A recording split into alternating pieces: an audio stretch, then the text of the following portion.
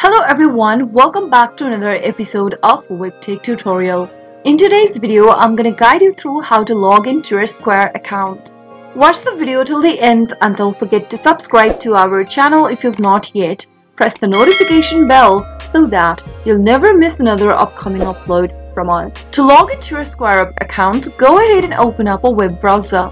In the URL box, type in squareup.com and press enter on your keyboard. Once you end up in the official site of Square, go and click on the sign in link at the top right.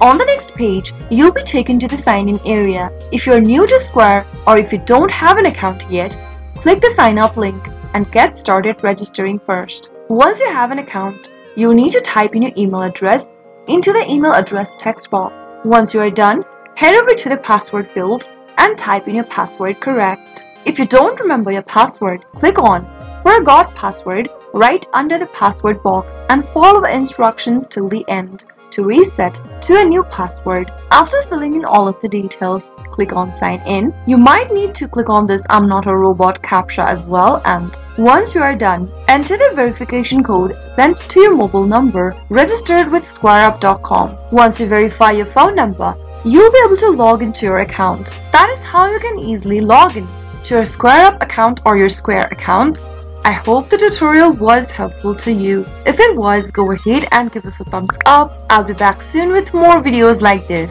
Thank you for watching.